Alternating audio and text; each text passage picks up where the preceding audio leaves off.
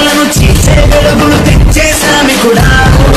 రేపటి తరముల విధము రాస్తూ నడిపే నాయకుడా ఆనందం నీ వల్లే అంటుంది ప్రతి వల్లే ప్రతి ఇంటికి ఉన్నావు పెద్దోడల్లే